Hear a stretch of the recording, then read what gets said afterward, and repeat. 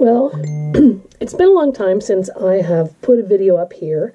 I actually have been developing and teaching an online art journaling class, and it evolved from some of the videos that you may have seen uh, posted in the a few months ago on my channel. So I wanted to come back and show you some of the things that I do in my art journals. I often do pages that are very layered. Um, this is one of the pages that is a key themed spread, and this comes from my art journaling class, Sparking Creativity. The information can be found on a blog post, and I'll put all the links below. The enrollment for the next session is currently closed as we start on um, Sunday in a few days. So, to give you a glimpse into my process, um, there are probably four to six layers of different things on this page, but in some areas you might be able to see what is a little bit of pencil handwriting in the background. So let me show you how that evolves. I have a really soft lead pencil it's all graphite. Um, it's an HB, and I like it because of the feel of it on the page, and because it has kind of, um, well, it's a soft lead, so it's soft edges. So I want to show you two different techniques. So I'm just going to use the lead pencil on this side here. I have a tendency to go vertically on the page because that's not how we normally write on a page. That way it becomes a little less like you're trying to see or decipher any text that's visible and more like it is just a layer and an element of the design of the piece. So it might start something like this.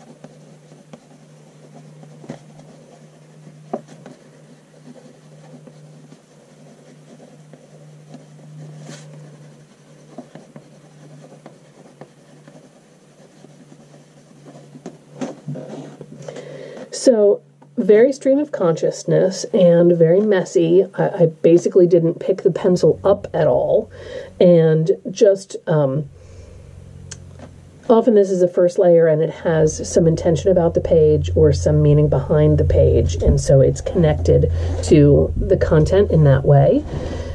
Sometimes I leave it here, other times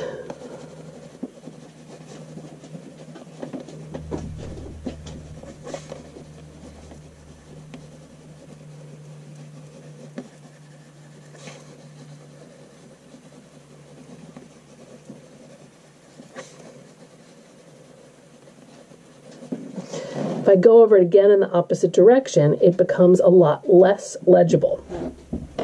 With a page like this, then the next step for me is probably to cover this a little bit, obscure this a little bit.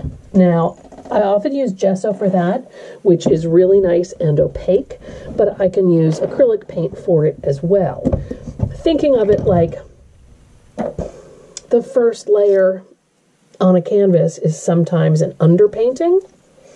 And so it can inform the decisions that we make later, even though it doesn't all remain visible in the finished piece.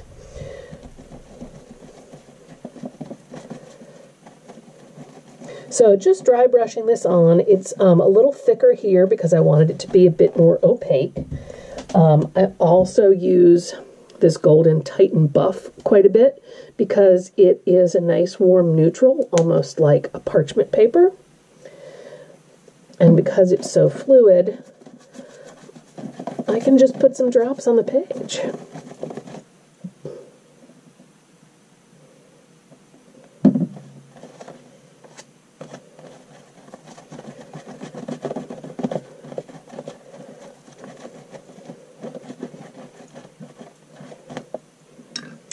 So I would call that layer ready to dry. it is just something to break that white page. If you're new to the art journaling practice and you sit down with a book and it's filled with these pristine pages, they can be an obstacle to your getting started. You can stare at the page and not want to mess up. You can stare at the page and not know what to do and be stuck on trying to make a perfect page or have the right idea or the right thing that you're expressing. Sometimes it's as simple as just smearing some paint around, and that can open the door and loosen you up so that it invites the muse to talk to you. This is perfect to come back to later, to draw on, to paint on, to collage over, to use more ink, to stamp or stencil. It just breaks that white page. And it may be completely covered when I'm done with it. Or as you saw here, there might be some elements that peek through different layers. That's a personal choice, but it does tackle that blank page conundrum. Now, using the same kind of idea with script and just laying down some handwriting, whether it's to break the page or whether it's to express an intention and be part of the page, I wanted to show you how different other materials can be. Um, this is just a regular old cadet blue crayon.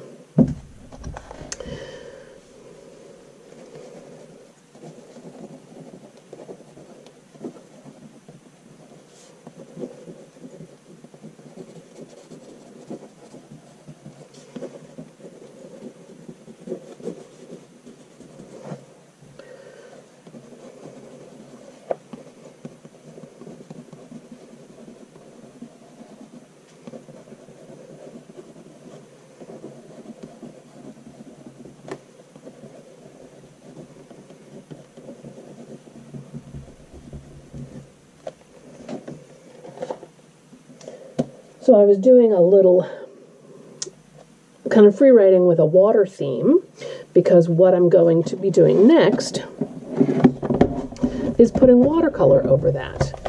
And this may take you right back to grade school, but the wax from the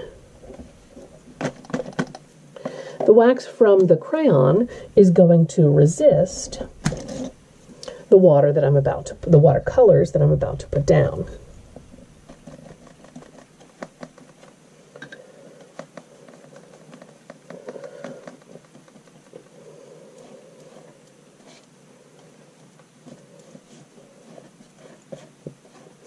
So this is an indigo blue, which I love, and I knew it's um, nice and juicy and covers well. Has a good color intensity, even when it's diluted with water like this.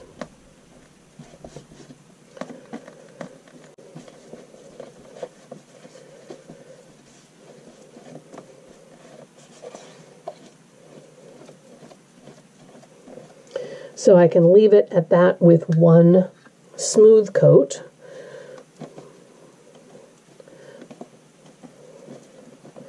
or I can just loosely kind of scumble on.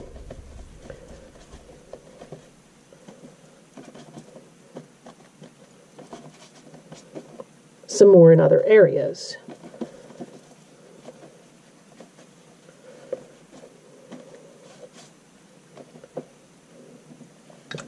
And leave that to dry. So again, this in this case was more legible because I just did the one layer of writing. I didn't obscure it by going over it again in the other direction, but it gives me a lovely base color. This cool blues. Um, I could have used the white crayon. I could have used an orange crayon and then the blue paint. So those complementary colors would have been a little jumpier and, and a bit more visually intense. So, two different ways to break that white page and just to dive in and get started. Sometimes that's all it takes. This page, I might be flipping through a magazine and find just the right image, collage it on, maybe some found text, and be done and be satisfied with that. Um, however, it goes, whether it is fun or serious, whether it is intense or a delightful distraction. Hopefully, that gives you some ideas to use in your art journal.